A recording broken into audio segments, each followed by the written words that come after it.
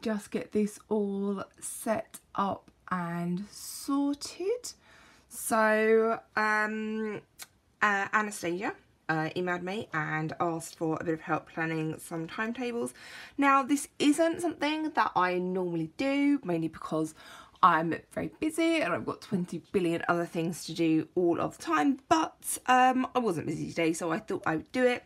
And I thought I'd do it live so you can see the process of doing it, so you can see um, all the different things that need to be taken into account when we do a timetable, um, uh, so that uh, you can see how the thinking goes. So I made some little notes um, so really, really sensible idea. She has Sunday as a reboot day, is busy most of Saturday. So the very first thing we are going to do is to block out time where nothing can be scheduled in. So I'm going to do just block out all of Sunday. If you can hear uh, scratching, that is much trying to get in through the door. She cannot be in here at the moment because uh, she's a pest, basically. And um, she tries to knock my tripods over. So this is reboot day. So this is my key down here. So Sunday we're going to be rebooting on other things. So um, this, what I'm going to plan here is kind of like a general overall timetable. You can use this because in my pad there's like 50 um, as a template and then go through and then fill in individual things as you need to. Um, so that fits in there quite nicely. So we have piano for 20 minutes a day, home about 3.30. So what I'm going to do down here is put in the times that we're going to be using for revision. Um, get home from school about 3.30. So realistically, we're going to start about 4 o'clock after the whole putting bags down and away and getting shoes off, etc, etc. And we're just going to do a short session to uh, 4.25 in there. Then we're going to have a five minute break. We're going to go from 4.30 to, uh, no we're not, 4.30 to five o'clock and then we're going to have uh, like a 10 minute break 15 minute break in there. So we're going to go from 5.15 to 5.45 we're going to have another break because Anastasia hasn't put on here what time she has dinner but I'm going to assume that she does eat in the evening. So we do need to do that. So I'm going to pop that gap in there. So we're going to start again at 6.30 and we're going to go to 6 55 now i'm not going to put too much other stuff on here um, because we do need to have some time for like relaxing and reading and important things like that but i'm just going to put 7 to 7.45 on there. You shouldn't be going too much later than that um, in the evening. So we've got kind of like an hour there. We've got an hour. So you've got like two, three hours worth of work each evening. Now the subjects that we have to cover are, oh you can't really see that colour very well at all. Let me do it back in pink again, more things in pink. Biology, chemistry, English language, English literature, maths, physics, RS and Spanish. So this down here is just a subject tracker so you can check that you are spending an even um, amount of time on each subject, um, that uh, things are fair and you're not spending too much time on other things. Priority subjects are going to be biology, chemistry and maths is super super priority subjects. So biology and chemistry um because that's what she'll be doing next year as long as core maths. And it'll be nicer if the grade was up a little bit in maths so we're a little bit further away from the boundary. So maths is super priority with biology and chemistry also being priorities.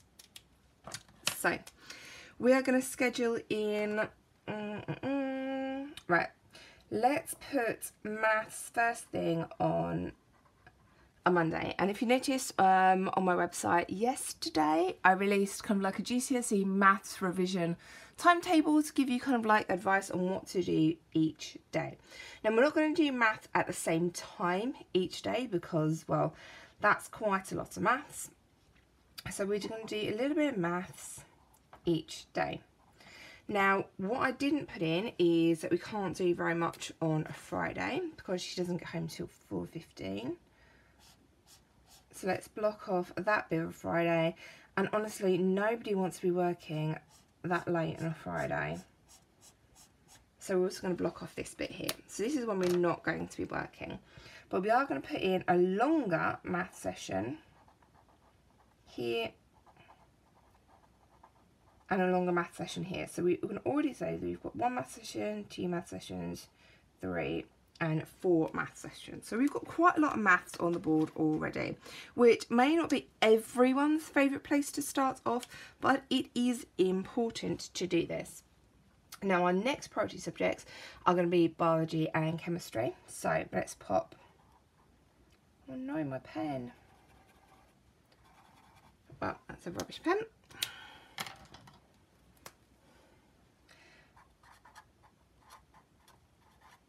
Biology in here. So that's one biology. And then another biology over here. So that's two biologies. And then we're going to put biology over on um, Saturday, Saturday evening, because she spends a lot, lot of Saturday volunteering. We don't want to do too much. But a bit of biology, I always find is nice and relaxing. Right, then we need to have our chemistry. So we're going to do a longer chemistry session. Um, and then a little chemistry session. And then we're going to put chem on Friday. Right, uh, what colour next? Green. Right, so English language and English literature. It is good to practice doing longer things of English So we're going to put an English language down there and then we're going to put an English language up there. We're only putting two in, so you can see it is not an even distribution of subjects that I'm putting in here. It is a, range of subjects, there are different things going on, um, because some subjects are more important than other subjects. You don't have to spend the same amount of time revising every single subject. I have a loads of pens over there, which is where they were coming from.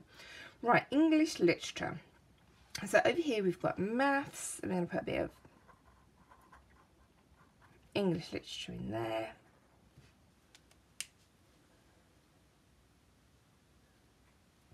And English literature in there. And do next colour. Right, so we're now going to put in some um, piano practice because it is really good that um, what we can get this in. And I'm going to put it right in the middle. Dotting it around all over the place. P piano. Um, because it's good to mix things up. P, P. So we've got a piano practice in all of the time. Right, so what have we got next? We've got physics. So physics, not a priority subject because we're not doing it next year, but we still need to do it. So we're going to try and block out two spaces for physics. I'm going to pop it in here because it's going to go after English language, before biology, and it's a bit of a bit of a change from everything. Physics, and then another bit of physics over here.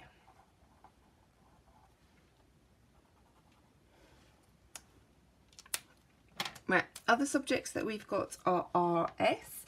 So over here on a Saturday, I don't want to overload to Saturday too much because um, uh, she's volunteering all day on a Saturday. So I'm just going to put a bit of Spanish on here. This is good because it can be stuff like flashcards, which can easily be done in breaks or it can be done kind of like on the bus, on the way to or from volunteering, on the car on the way to or from volunteering. So it doesn't have to be like really hard, intense sitting down planning stuff. So I'm going to put flashcards. So this can just be like vocab, mental uh, translations and stuff like that, Spanish. And then I'm going to put it over here as well because we've got quite a heavy day with biology, math and English language. Spanish.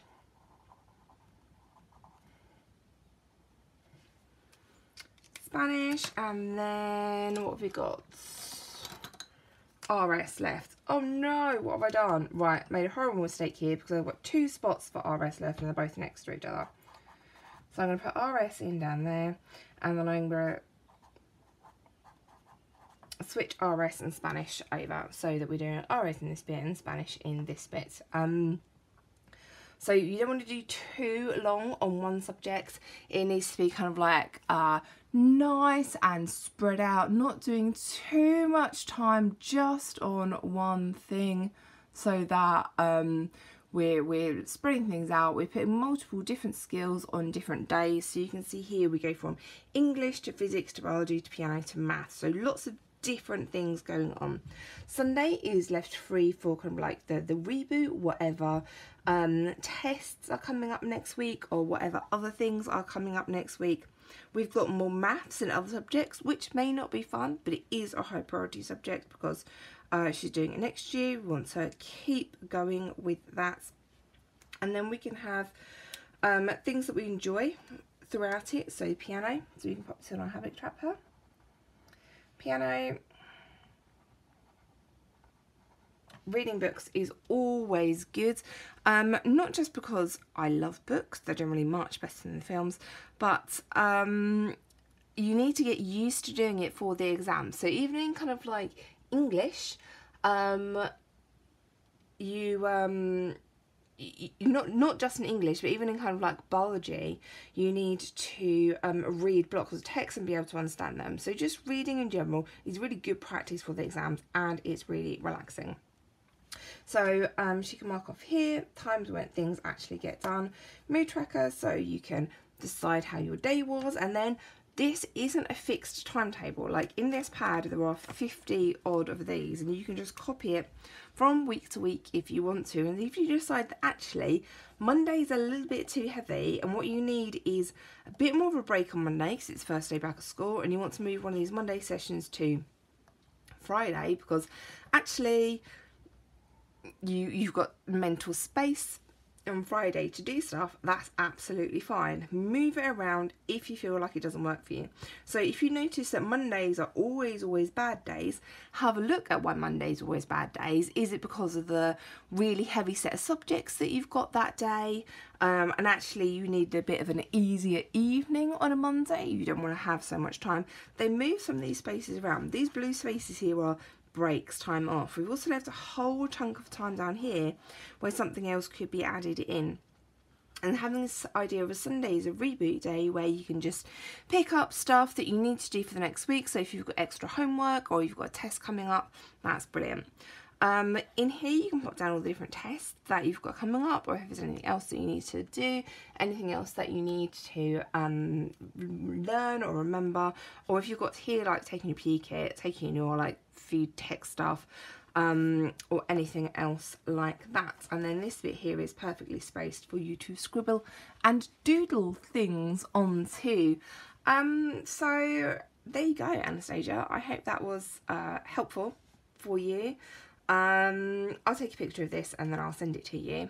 Um, but if anybody else wants me to do something like this, then um, get in contact and I can do it. Now that I've worked out how to get all the camera angles and everything set up, which took like about an hour, um, this is actually pretty fun for me to do. So I will do that. Right, I'm just gonna move my head around here like this so you can see. Um, you mean we won't be doing physics next year? No, just for this timetable here, that's who won't be doing physics next year. Um, so yeah, guys, that is um, the timetable that I planned.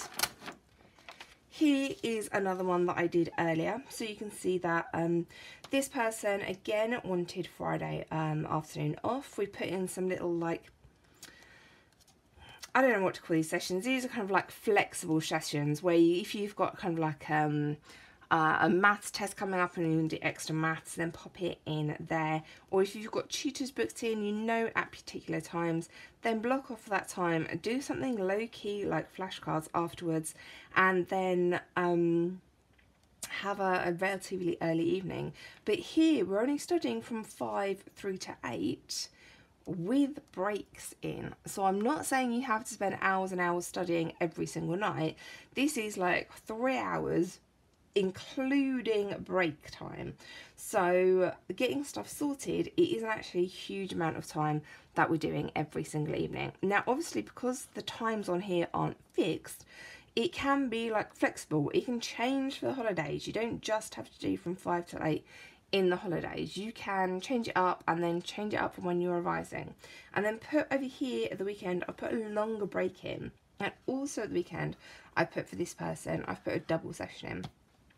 Um, so that's is how to plan study planner, how to do it. Um, yeah, guys, let me know if anybody else wants any extra help or if anybody else wants me to um like do one of these for you um and um just just for the end of the year there is 25% off on my website at the moment if you wanted to buy a pad of these 50 in them and obviously I don't expect to be studying for 50 weeks of the year because that would be insane.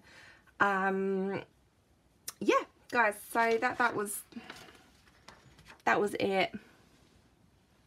Let me know what you guys think